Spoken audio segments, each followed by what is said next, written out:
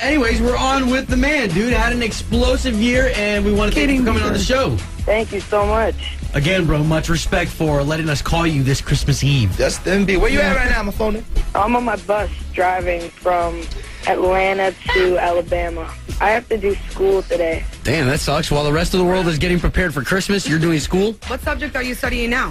Um, I'm doing. I mean, I'm doing um, American literature and like basic. all that stuff. Nice, man. On the road and still getting your higher learning on. Now tell us this. It's the 24th right now. Christmas being tomorrow. What is Justin Bieber looking forward to the most? Um, I am just. Uh, I'm gonna be going home with my family and just hanging out with them. And uh, you know, I really miss them. That's all I really want to do for Christmas. What are you getting mom for Christmas? Well, I mean, I don't want her to find out. okay, okay. How about we promise she won't hear us? You know what happens? It shows up on Google Alerts what I'm gonna get my mom, and then my mom has Google Alerts on her phone. And then the surprise is ruined. Exactly. Now, one good thing that's happening to you this holiday season that couldn't happen last holiday because you were so busy, you know, trying to get everything off the ground is you got mom and grandma Yeah. together this holiday season. Yeah, yeah. They're gonna be cooking, right? Yeah, they they make ham together. They make everything. They make.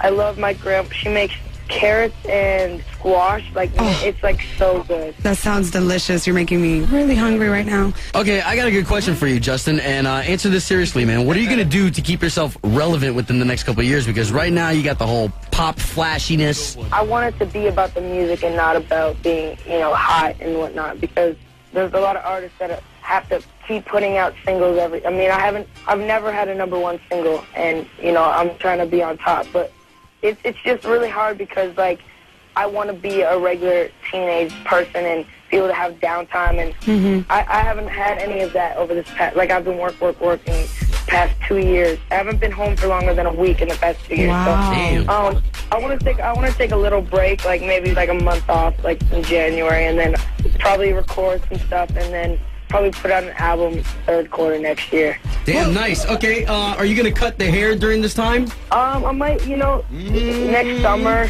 you know, cut it a little shorter, but not. I mean, I'm not gonna cut off all these locks. Spruce out all of these locks. I love it. Want to run my fingers through here. Hey, hey, is, is your mom dating anybody?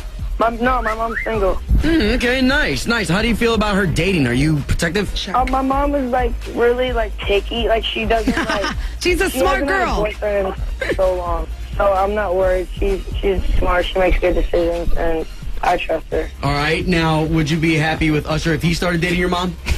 Hell no. I love his reaction. He didn't even think about it. Justin Bieber, again, man, always great to have you on, man. We'll, we'll talk to you in 2011. All right, guys.